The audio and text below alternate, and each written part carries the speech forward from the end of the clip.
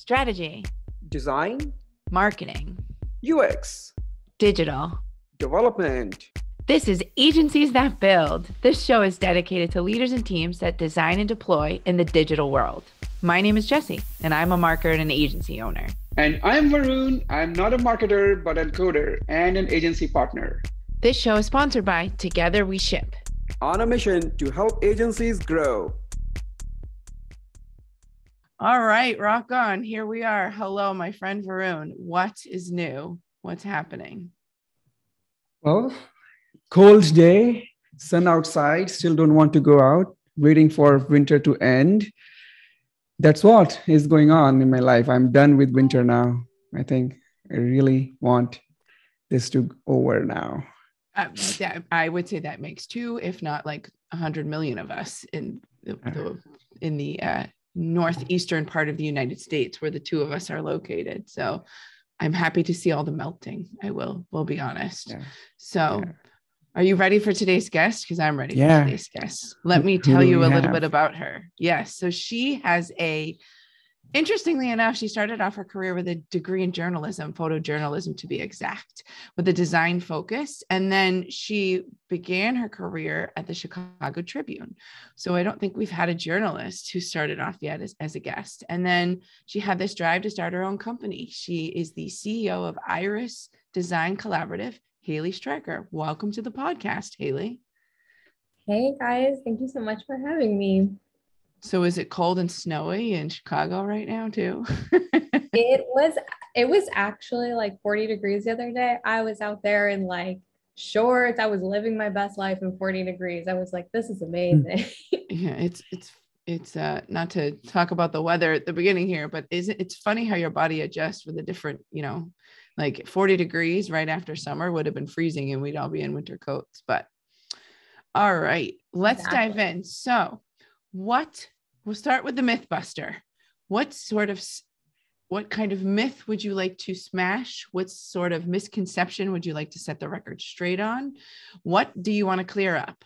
Enlighten us. Okay so i think it was beneficial for me to learn this. I want to share it with others.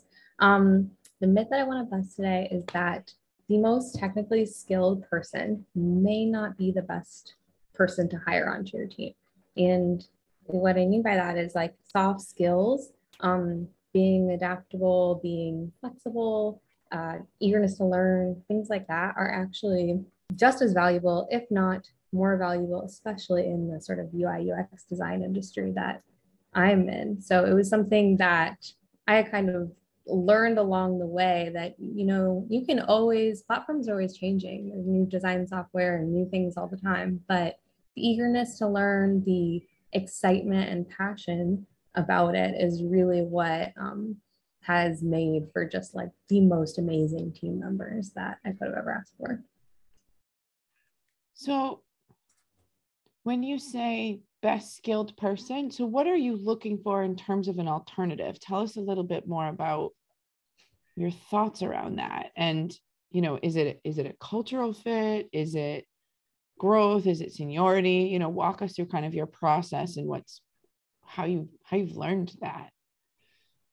Yeah. So um, as you said, starting from a um, journalism background, um, I I was good with the hard hitting questions, right? Like I knew how to interview and and all that good stuff.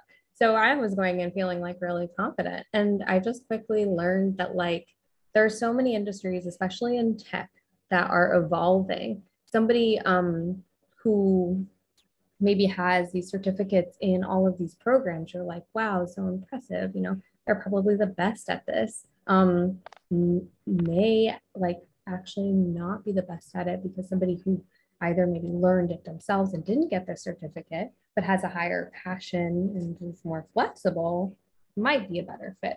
So I guess I learned by trial and error, but that was a little bit of the process that I at least went through that um, I wanted to share here for others that might be like feeling that same struggle because hiring is hard, finding great team members is hard. And as an agency owner, um, you know, your team members are just a huge part of what you do.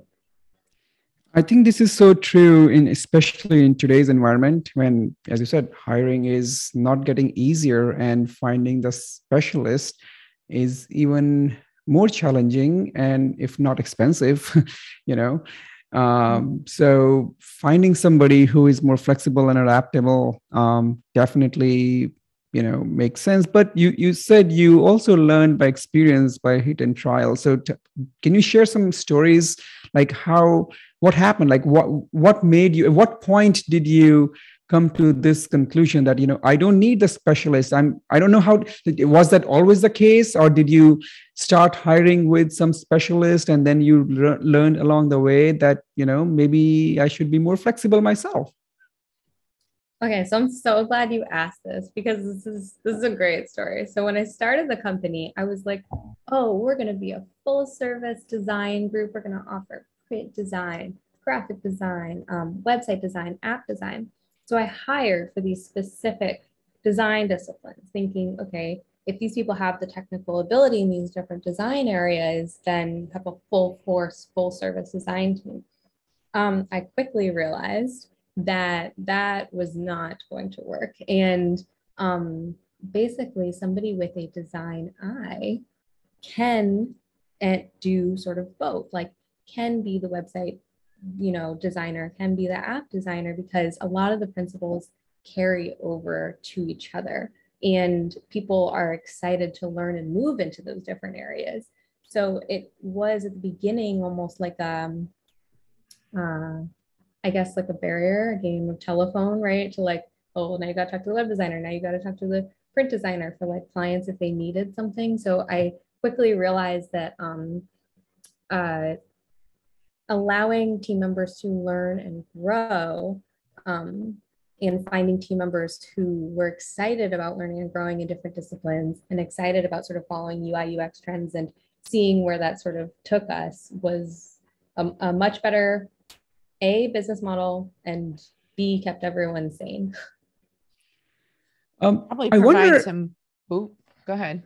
Sorry, I, I I just was wondering in that situation, how do you position yourself in front of the client though? Because from client's perspective, they are hiring you because you are a specialist for certain skills and certain jobs.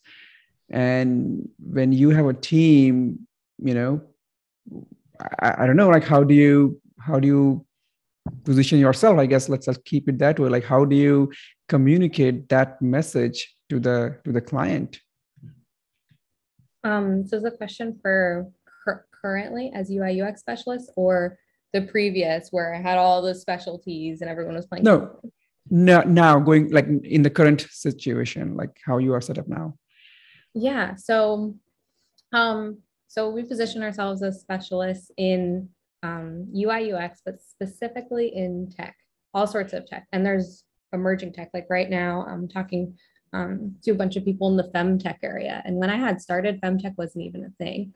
Um, you know, it didn't even exist that there were healthcare solutions for women online. It, there was barely telehealth maybe four or so years ago. So really positioning ourselves as um, leaders in new tech, new tech spheres, as well as, um, you know, the fact that we do holistic design. Like we really uh, look into the specific problem that, um, you know, the that the company has.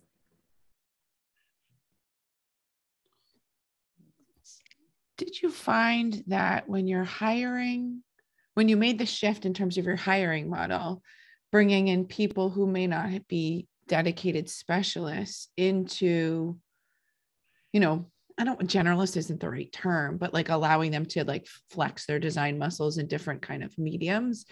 Did it create, did it change your culture at all? Did you find your retention rates, you know, from an employee standpoint, did that have an impact? I'm like leading the witness a little bit. I'm assuming it did, but I'd love to hear a little bit about how you know that affected your your hiring and staffing yeah it actually had a huge effect on hiring staffing and culture um not leading at all because that's what i was going to say anyway uh, um but basically uh it allowed for um members to get on like working calls and teach each other and also offer as like a soundboard. A lot of UI UX is looking at the world around you. I mean, design is everywhere. Design is on our Alexas, you know, UI UX designs on our phones, our tablets, our computers. It's we're constantly on screens, even our smart TVs, right?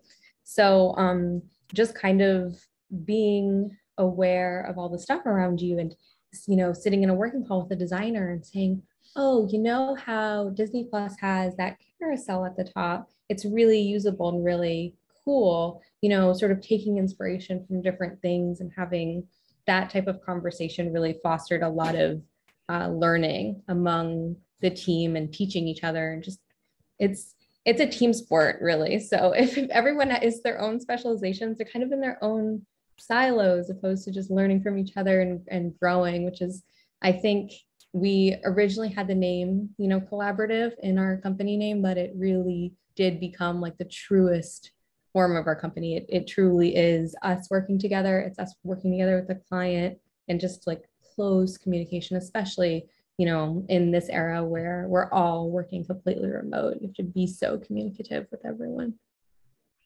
and you guys have been fully remote the entire time, if I'm not mistaken, correct? Yeah. Um, my assistant manager likes to say that we were remote before it was cool. Um, True.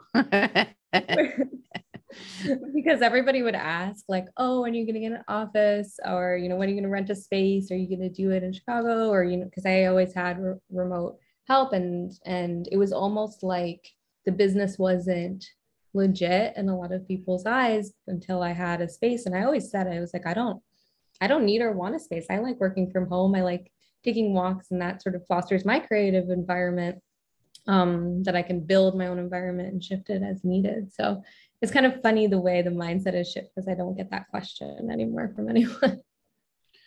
How do you guys, you know, with that collaboration that you mentioned earlier, I think this is a conversation we've had a lot of agency owners and uh, how do you how do you facilitate that collaboration i'm not going to say foster because i think that one's cheesy but it's like i'm looking for specifics tools that you guys have used techniques that you've used how have you really cultivated that collaborative environment because i think that's something that i know companies have figured out and or agencies have figured out but we're always looking for new and interesting ways because it keeps us it keeps us young i'll say it. It keeps us all young in terms of how we you know think creatively.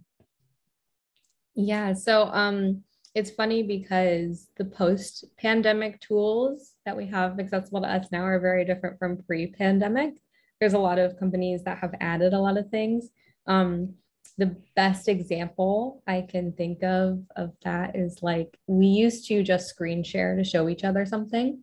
And now in the design world, you have Figma where you know you can sit and actually watch each other's mouses, similar to like any Google Doc or presentation. But you also have, which they just came out with, um, and there are other com- competitors and um, things like that, but they just came out with FigJam, which is basically like a virtual whiteboard um, where you can draw, put sticky notes as if you're standing next to someone, putting up sticky notes like in a general UI UX design process. Um, and we love it. I mean, because you're typing on sticky notes too, sticky notes never get lost. You can always read people's handwriting. Like it, it all sort of works in that really awesome way. And the tools that people have built for remote agencies have just been amazing. Yeah, that, that's so cool, like using latest tools. But how do you, I think I, uh, continuing on that thought about building that environment what are i mean in terms of establishing a culture and keeping the team motivated right since they're also working remote in their own creative environment do you guys do anything differently to keep them more engaged other than just you know the, the work work right i mean they are collaborating on tools but outside work how do they get that bonding uh, that you sometimes need between the team. Do you have any trick tips and tricks for that? Yeah. Okay. So I have I have two parts to this answer. Um, first part is work wise. I'll do work and outside of work. Work wise, um, we're always encouraging working calls. So, like, we always, every morning, we talk about all the stuff that we're going to do that day. And if someone sounds like they're either bogged down or maybe they're hitting a bottleneck or they have like a creative block, some, you know, we kind of say, hey, do you want someone to jump on a working call with you and we can soundboard and kind of brainstorm together. So that's kind of how um, bond over projects through work a bit, just one of the ways. And then outside of work, we actually do um, every Friday, we do a meeting in the morning and because Fridays are chill. So we're, you know, all in our hoodies and sweatpants and, and whatever fr- Friday wear. And we talk about um, our highest points of the week and our lowest points of the week. And it can be anything. Like my high of the week was that I had an amazing pepperoni pizza yesterday and it was the absolute best. And uh, we just talk through those. Um, and we'll also play like virtual games. Uh, there's like virtual Pictionary and stuff like that. We try to do a new game every uh, week or so. Um, we used to do themed weeks too, be like a Hawaiian week, and everyone would come in in Hawaiian wear. Um, but sometimes on Fridays, that was like a little too, like, you know, Thursday night, you're trying to find some Hawaiian stuff in your closet type of thing. so yeah. just like some fun stuff like that that you would kind of do in a um, in-person environment at, at like, you know, a, I guess water cooler talk. Yeah. Um, I want to shift gears a little bit and ask you about how did you get into this business? Like you're you were a journalist, how you know, and you know, in, interest in photography. So there was that artistry um, mind from the beginning, and then you know that makes sense to get into design world. But to start a business, it's not easy. I mean, you know, so how did that thought come in the first place and how did you start? How did you grow? Um, where are you right now and what's the plan? Yeah so a lot of really great questions there. I'll um, start from the sort of beginning here. So um, from that photojournalism graphic design perspective i had a great eye for things and I also took with me a very um, important skill from journalism, which is critical thinking which is really important in the UX world as well as copywriting. UX copywriting is huge. A lot of people don't have the copy ready. So it's something that um, I have a strong skill in personally, and my team does as well because of the sort of mentorship that we give each other. Um, so really critically thinking like a journalist, like does does this really need to go here? Does this really make sense to a user which you do in an article you know does is this paragraph essential? And you order the story in a way where the most important information is at the front. So those types of things those types of i guess uh, soft skills that you learn from there was something that i was still passionate about and found that same passion in ui ux as well as the artistic um, perspective that you had said. And um, I'm, I'm trying to follow your previous questions but so that's that's how I sort of started to get into that world. And I always wanted to go into digital because that was where the future was going. And I had every hope that maybe, you know, newspapers, as much as I love them, would get there. And um, you know, when they weren't going there, I just I was like, all right, time to abandon the ship. I really wanted um if you know, like Harry Potter, when you open up the newspaper, it's like the video and like you know stuff like that in the newspaper like hologram type of things. I really wanted that to be the future but animated gifs animated memes. That's what we're going to see in the newspaper. Why not right? That's what i'm saying right? Like have the video embedded in some way. I guess it's like that with tablets but it, it would have been cool. So um but yeah so then i guess uh after that then i when i I went out freelancing. I think UI UX just found me. It just, I was strongest in that skill set and I loved it so much. And then I sort of uh, built a team around it so that we could just do more and just take on some really cool apps and uh, clients.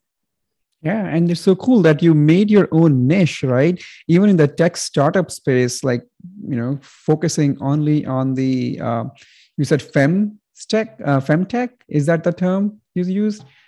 Yeah. So like um I think the femtech and uh, health tech has been really strong with us. We've also done um, fintech. There's all, all sorts of techs, right?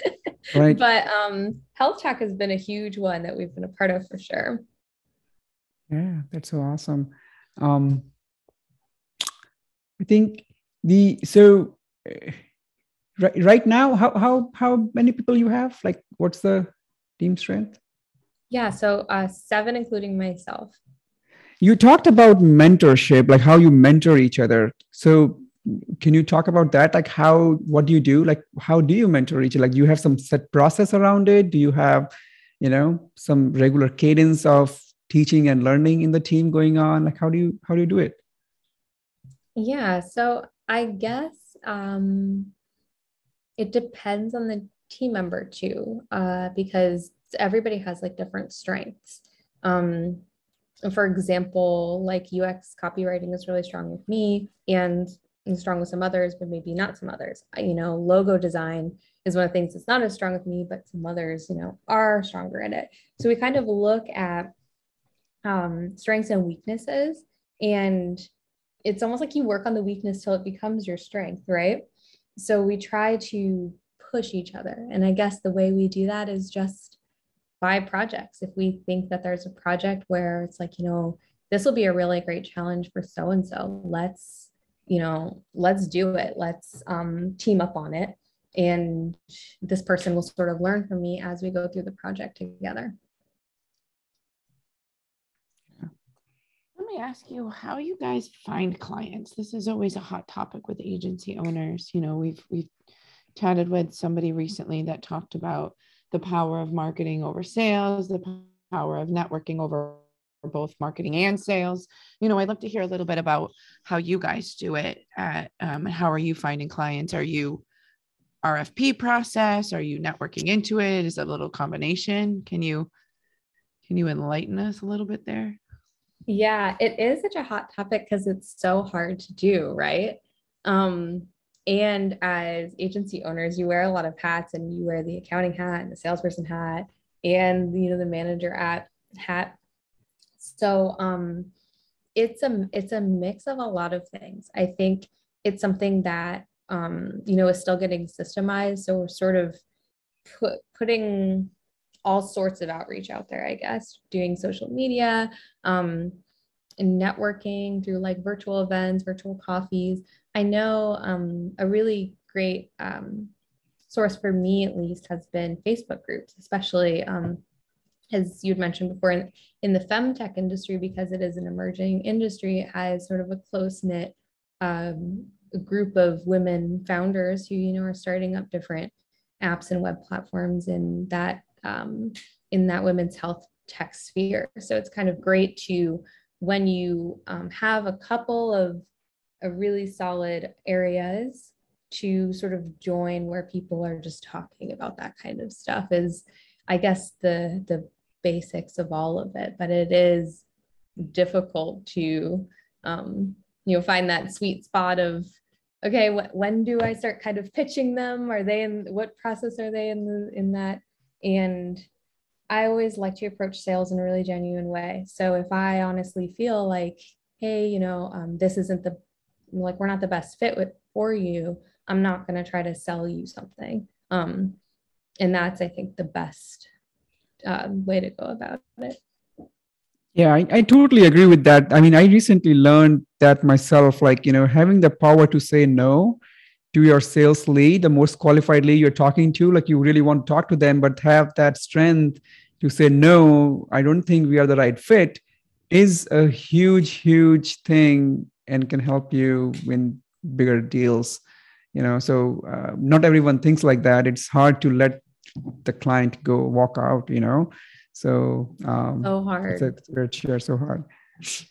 Built up the trust though and your reputation. I feel like that's something that we don't we, you know we talk a little bit about with other agency owners is the idea of of um you know with you it's you've niched down in such a smart way to to become known within this you know femtech and this larger tech industry but being able to say no and being authentic is the word that uh, you know we've all overused recently but it's this idea of when you do say no you go oh wow that's there's something you know a little bit trustworthy it feels good and they'll refer other people who might be a better fit back to you too. There's something about you know, it goes back to identifying your ideal customer profile in some ways as a business owner and really digging into who is it? Who, where do we want to go and how do we want to grow?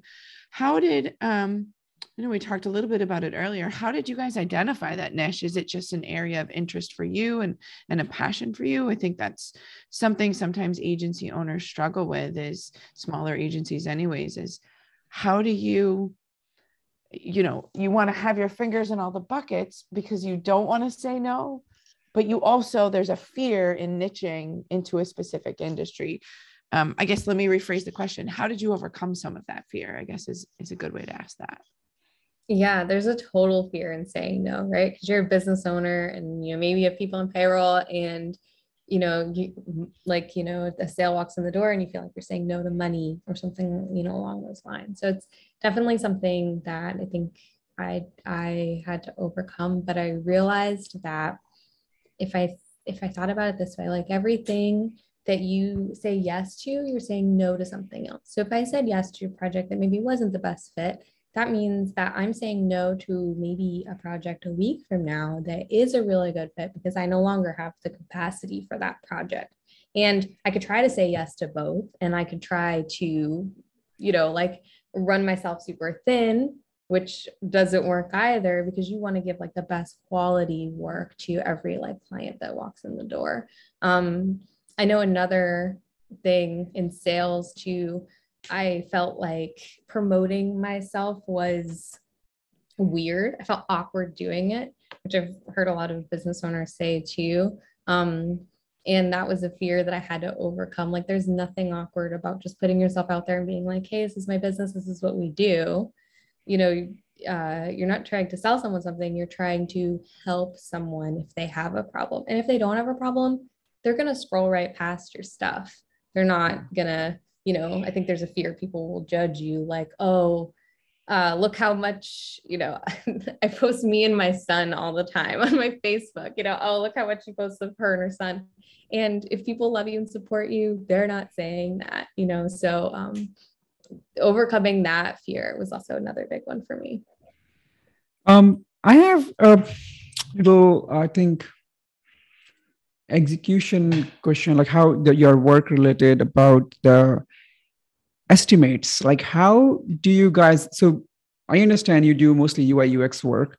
So how does the discovery and estimations happen in your world? Like you know you are not doing a building you are not building or, or developing an app or you know uh, a back end. It is mostly just a front end design work that you guys do. So when somebody comes to you with with their business need right um, how do you scope it? Like what are the best practices that you may have learned along the way where you know that has given you more accurate estimates in the beginning?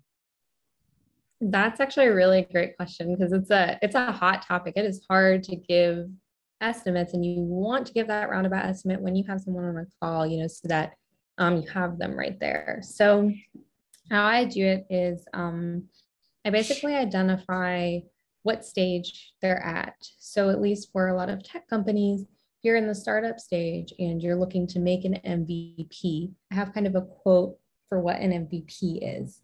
And, um, you know, it's pretty standard across the board because you want to make sure MVP has the, the core functions. And we really harp on like not throwing everything in the kitchen in the kitchen sink in your MVP because you're never going to get to market. Um, so we work on core functions in an MVP and I have like a price for that. And then somebody who maybe is iterating and um, is in that middle place where like they could hire UI UX product team in house, but they also could outsource and they're trying to figure out which one works best for them. For those people, I like to do an ongoing work like hourly retainer because the scope of work can change very rapidly because they're a little bit more of a mature company. They have a lot of different features. It may be more complex and quoting on a fixed price. Uh, you may be putting yourself like in a hole because then things are going to change and you're going to have a hard time scoping it out. Um, so those are the two that I kind of go by. And then I also um, offer an additional one for um, people who are maybe in the in between of those and Um, it's basically like a just discovery where we do an audit and we do um, competitor studies just to give them those aha moments and give them suggestions. So, like a recent one um, that we did was like, uh, people know that something's wrong, right? Like something's wrong here. They can't put their finger on it. And then we were like, yeah, the price the price on this is red. It was color red, so it looks like an error. And they were like, oh my god, that was that was so simple, but it kind of took that expert eye to point out to us, and then we can make that quick change. So um, that's another really valuable thing that a lot of people um, enjoy and start out with, and then maybe they decide whether they want to continue ongoing work with us. Do you believe in value pricing or hourly pricing? How do you approach your pricing? It's so hard, right? Because um, I believe in value pricing, but it's hard to nail down scope, at least in the design industry. Um, yeah.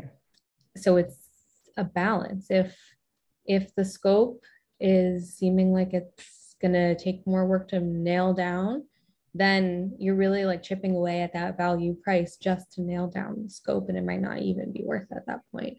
So um, I think it's sort of play by ear in in that sort of sense. Yeah. Yeah it's it's tough. I mean we we hear this debate all the time like you know agencies some just do hourly rates and some do value pricing you know how much is this work um, worth to you as a client? Um, but then eh, how would you justify like you know it's 100 hour 100 hour job for which you are charging me something which is like $500 per hour rate but that is what it's worth to you then yeah that's what i'll i'll charge right? So um, yeah. it's it's tough sometimes and finding the right balance would be you know i mean i, I was not able to do it. I, am still not able to do it. So i wonder how people do it. So i always it, question this like you know how you how you approach it you know Yeah, it's like I think the the way that I have found too to be helpful is like the more you can systemize your own processes, at least in my world, like um, you know, a login screen is a login screen. There's not like much to change in that arena, right? So there's like a couple of things you can kind of do to maybe cut down the um, labor that may help you uh, if you have a fixed price um, be able to you know do that value pricing without stretching yourself too far even if the client adds a bit of scope. Um, but i know contracts are another like sort of uh, way to be able to do that and like limiting rounds of revisions at least in the design agency world um, that i've heard of and tried for a little bit but it became like okay then we need to add two more revisions how much is that and then two more revisions and again you're just spending more time scoping out right. all the changes to the revisions right yeah um it's an interesting oh, I have commentary there, then I'll let you go, Varun. You know, it's an it coming from multiple different types of agencies and companies and stuff like that. There is an interesting challenge with that with the pricing of the contract versus the hourly component of it. And um, I'll just add the best way that I figured out how to manage that is know how long a project takes with some of the standard. And then mm-hmm. there's the uh, the uh, upcharge is the nice way to say that for when they want to add on things they pay a little bit of extra on top of it to kind of manage those rounds of reviews there have been other as agency people know there's other friendly names for that type of charge but um, I won't say them here. But it uh, that has always amused me when that happens. It's like, do we put that one on? Like, how do we tell this client we're done without being like we're done? So um, yeah, right, all right. the uh, mm-hmm. the PITA charge, we'll call it that PITA. You can Google that one and look it up at a later date for those of you listening. So um anyways just it was an interesting interesting thing to add in there. Varun, you had a question. Yeah so i want to go back to i think um the soft skills that you talked about earlier like you know having that so you built a culture around being flexible adaptable and you know that fire to learn and adapt and, and, and grow along the way right? Um, how do you so do have you formalized that as a process in the team where you know how do you make sure that they're learning? How do you encourage them to learn? What do they what do you do so that they are not just uh, you know uh, where they are not learning where they are not moving forward? How how do you like what do you do? Yeah so we have a process for um, because we have um, project managers and then underneath them are ui ux designers so when a um, new team member comes on board, we kind of have, first of all, obviously an onboarding process. And then, um, you know, they do the onboarding process with one team member. That way they have like one point of contact to find things if they need something um, without having to sort of go in a merry-go-round and figure out which team member they need to find. And then, um, you know, once that team member who trained them feels, um, you know, that they're in a good place, uh, which is normally, I don't know, a week or so. We have a lot of processes, so it doesn't take long. You just have to get used to the workspace. Um, then that person starts starts talking to other project managers, and project managers then have um, routine check-ins, whether that's just like a quick Slack message about the person, whether that's like a 15 minute meeting, whatever it may be, to kind of say, hey, this is a couple of the things that this person can improve on. Um, how can we like foster that improvement? Um, you know and this is what we've done so far to foster the improvement. So that's that's pretty much it. I, I think that feedback and i know at least me as a designer like uh, feedback at the time that it happens is really important for team members. Like if you wait a month or two to say hey yeah you know uh, you've been having an issue with spacing or something like and then you try to pull up examples maybe you can't even remember because it's been a couple months. So i think a lot of people are afraid sometimes to address the person but having that honest feedback is the only way that people grow. So i think too um, you know team members and that soft skill we're also kind of looking for is openness to that constructive feedback. You know it's part of willingness to grow is being open to hearing both positive and negative right? Because you you know you want to make sure you're also saying hey you're doing awesome you're killing it on this part but this part might need a little bit of work. Um, so just making sure you have that really good balance of feedback and that's a really great way to help people grow. On that same vein i'm going to ask you and put you on the spot here for a question. You know in terms of growing what was one of the biggest mistakes that you've made in running your agency that you can think of and what'd you learn from it? Let's let's spin this so it's a positive. I know I have to think other than the um the original like trying to hire a bunch of specializations, which um I think was definitely something that I learned very quickly on. Um a, a mistake. Well, it's a hard thing to kind of think through. You know, we've all, there's always the traditional ones of, you know, not charging enough or charging too much or not cutting off a project too soon or too early. You know, I think those are, are there, um, you know, we talked a little bit about hiring. Are there, was there maybe somebody that you, without naming name, names, but like, you didn't ask enough questions in your hiring process potentially and bringing somebody in or didn't give feedback soon enough or you know i i uh i know at, at various organizations i've worked at you know bringing in that run hire can be so disruptive and not getting rid of them early enough can be equally as disruptive in some cases too. It's like it's not the right fit. Just cut let's go. And yeah, or, or not having not having your client sign a contract before starting their work. I did that mistake. that's that's a big one right there.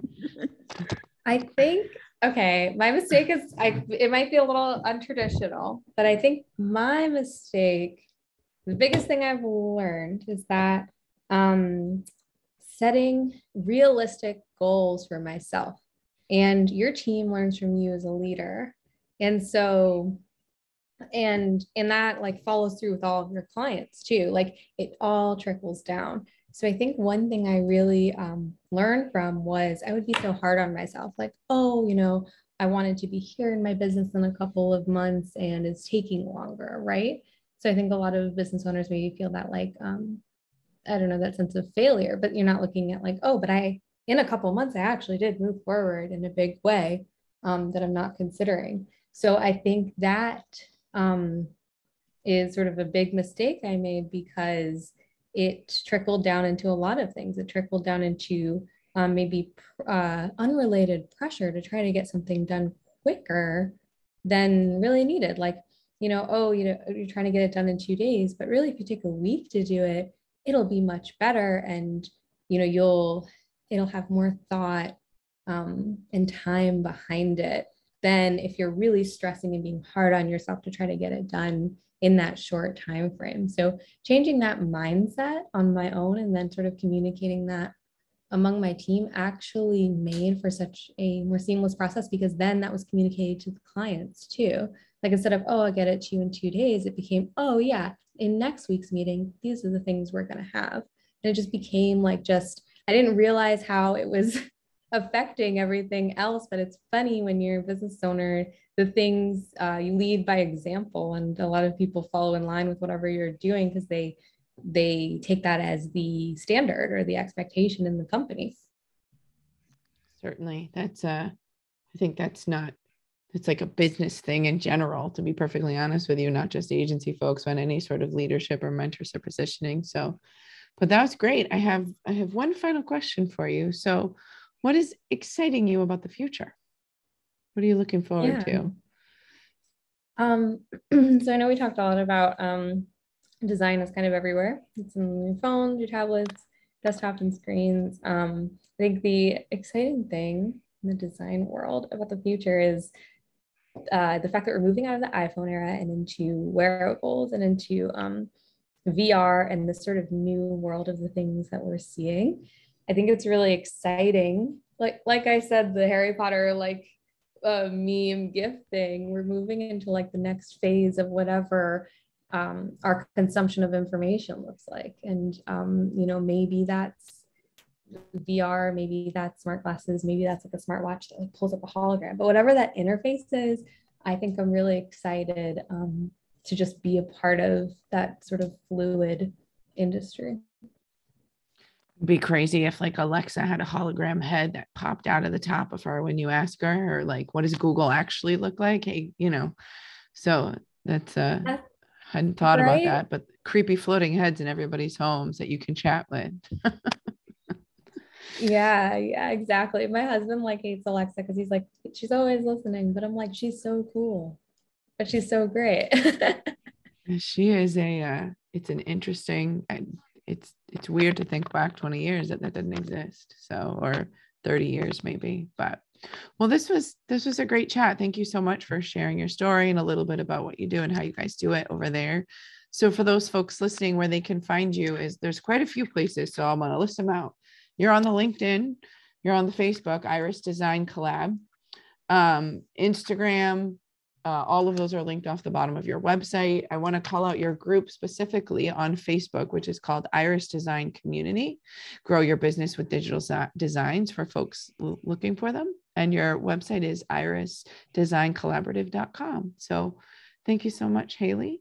Uh, that's it, everyone. If you learned something today or laughed, please tell, please tell somebody about the podcast. See you next time. Thanks for listening. Find our other episodes on agencies.build.com. Plus, we're listed anywhere you find your favorite podcast.